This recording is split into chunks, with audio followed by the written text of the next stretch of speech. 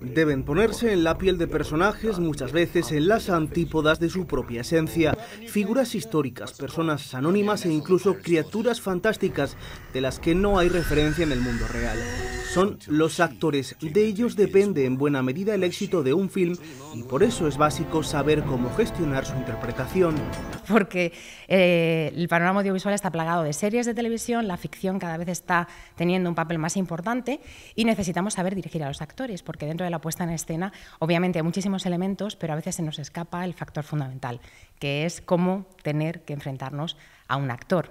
Los miembros del cuerpo docente de la UCAM son los destinatarios del curso que contará con un profesor de excepción. Moncho Armendariz compartirá su experiencia con los asistentes a estas sesiones formativas. Moncho Armendariz es eh, autor de películas tan emblemáticas como Tasio, 27 horas, Las cartas de Alou, Historias del Cronen y, por supuesto, Secretos del Corazón.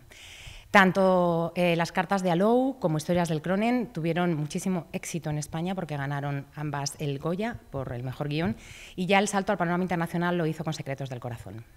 No solo profesores de comunicación, también docentes de otras titulaciones se han interesado por este curso de dirección de ficción que se desarrolla los días 4 y 5 de febrero en el campus de los Jerónimos.